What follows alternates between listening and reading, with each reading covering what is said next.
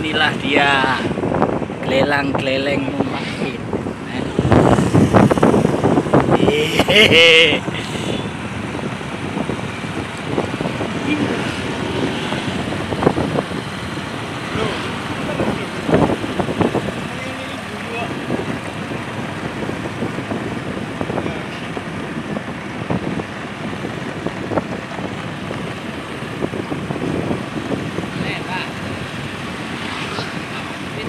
Itu golongan yang kamera wae.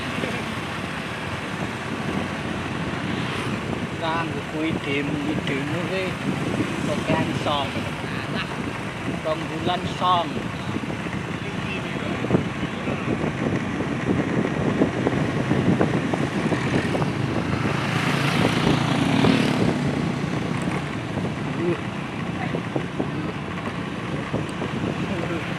Uh.